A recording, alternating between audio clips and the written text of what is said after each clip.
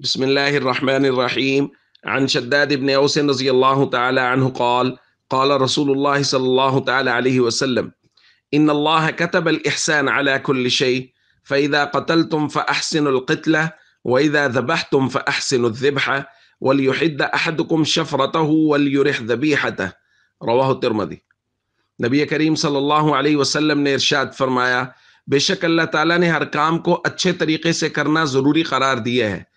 لہذا جب تم قتل کرو تو اچھے طریقے سے قتل کرو، اور جب تم ذبح کرو تو اچھے طریقے سے ذبح کرو۔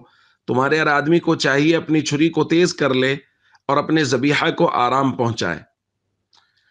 دوستو، اس روایت میں جو پہلا حکم ہے کہ جب تم قتل کرو تو اچھے طریقے سے قتل کرو، یہ حکم حکمرانوں کے لیے ہے۔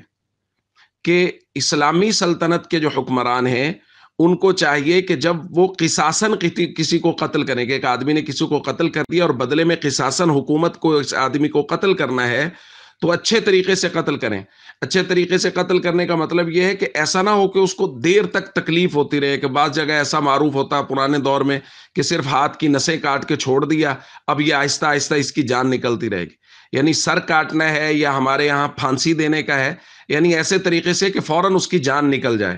لیکن اس کو نشان عبرت ضرور بنایا جائے، کسی بڑے گراؤنڈ میں، کسی بڑی جگہ پہ لوگوں کے سامنے اس کو قتل کیا جائے تاکہ یہ نشان عبرت بنے اور بندہ دیکھے اس نے کسی کو قتل کیا تھا، بدلے میں اس کو قتل کیا گیا ہے۔ ہمیں اس گناہ کے، اس جرم کے قریب نہیں جانا۔ اور دوسرا فرمایا، جانور کو تکلیف نہ دو، اس کو ذبح کرنا ہے، تو پہلے چھری کو تیز کر لو تاکہ اس جلدی سے اس کی رگیں کٹ جائیں اور اس کو تکلیف نہ ہو۔ تو دیکھیے دوستو، شریعت نے ہر چیز کا پورا خیال رکھا ہے۔ جانور کو ذبح کرنے سے پہلے چھری تیز کرنے کا حکم اللہ کے نبی صلی اللہ علیہ وسلم نے دیا ہے تاکہ جانور کو تکلیف نہ ہو۔ السلام علیکم ورحمۃ اللہ وبرکاتہ۔